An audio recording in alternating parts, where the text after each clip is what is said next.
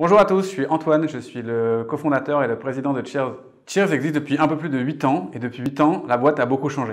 Déjà au début, on était deux, aujourd'hui on est 150. Au début, on faisait peu de chiffre d'affaires, on n'était pas rentable. Aujourd'hui, on fait plus de 50 millions d'euros de chiffre d'affaires et on est rentable. Il y a quelque chose qui n'a jamais changé chez Cheers, c'est la culture.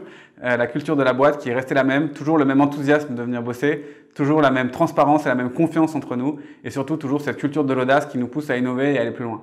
Notre culture, elle est là, elle existe. Ça paraît difficile de la matérialiser. Pourtant, il a fallu mettre des mots dessus. Déjà, on a énormément travaillé avec euh, Aurélien sur euh, quelles étaient pour nous les recettes du succès de Cheers. Quels sont les éléments qu'on a mis dans cette entreprise pour qu'elle en soit là aujourd'hui? On a travaillé aussi avec les Cheersers euh, pour essayer de comprendre qu'est-ce que eux avaient décelé comme qualité chez Cheers, quels étaient pour eux les, les attributs, les adjectifs qui définissaient le mieux la boîte. Et enfin, troisième point, on s'est dit stratégiquement, quelles sont les valeurs qui nous paraissent les plus importantes à mettre en avant au sort de notre projet pour qu'on réussisse à devenir le leader de l'impression de photo qu'on veut être demain. On a mélangé un petit peu tout ça et on est arrivé à définir exactement qu'est-ce qu'était la culture Cheers et à écrire ce culture book. Pour moi, la culture d'équipe, c'est ce qu'il y a de plus important dans le projet de Cheers. C'est ce que j'essaie de développer et de préserver aussi au quotidien.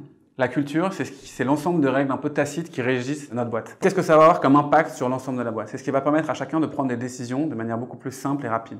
Parce que je sais qu'est-ce qu'on attend de moi, parce que je sais où la boîte veut aller, parce que je sais quelle est sa culture, je vais pouvoir prendre des bonnes décisions. Ensuite, ça va m'aider à être beaucoup plus autonome dans mon travail, dans ma relation avec les autres, parce que je sais exactement quels sont les codes et les règles chez Cheers. Enfin, d'un point de vue managérial, ça va aider tous nos managers à savoir dans quelle direction on aimerait que le management se passe chez Cheers. Concrètement, le fait d'avoir écrit notre culture book, ça va nous permettre de faire connaître notre culture à l'extérieur de Cheers. Évidemment, en interne, tout le monde la connaît, tout le monde sait ce qu'elle est, tout le monde sait comment Cheers fonctionne.